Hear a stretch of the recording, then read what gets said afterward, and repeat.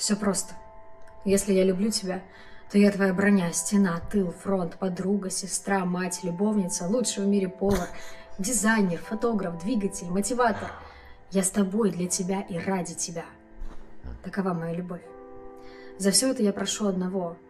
Будь тем мужчиной, с которым быть сильной приятно, а слабой не стыдно.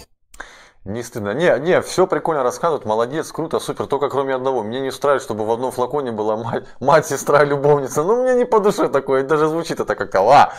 Ребята, ответьте на два вопроса у себя в голове. Первый. Верите ли, верите ли вы в вечную любовь? Не именно там, знаете, любовь к жизни, там, к природе, к небу, к солнышку, а именно вот когда мужчина женщина, либо же женщина мужчину любят вот вечно. Вот ты втюхался в нее и все. Вечно ты ее любишь, как бы всю свою э, сознательную жизнь. Именно пока то не сыктым башка.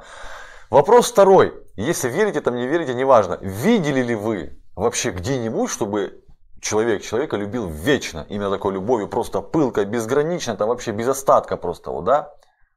А теперь сделайте анализ.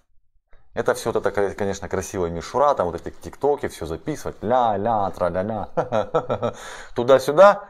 Но стоит ли верить в это все, в эти все слова и даже поступки подобные, если этого вы всего не видели и сами не верите, скорее всего?